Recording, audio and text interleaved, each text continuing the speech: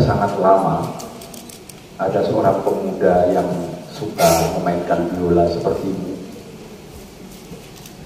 Tapi pemuda yang Pak D bicarakan ini sangat istimewa.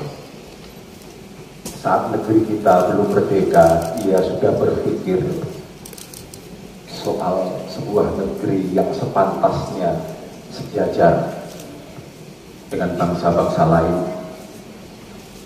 Maka pemuda itu tidak asal memainkan nada-nada. Ia berhati-hati ketika memilih kata-kata untuk menuliskan lagunya. Tapi itu dulu.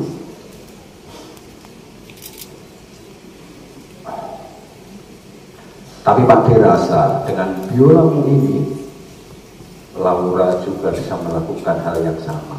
Ya, terus belajar ya. Mainkan biolamu, Laura.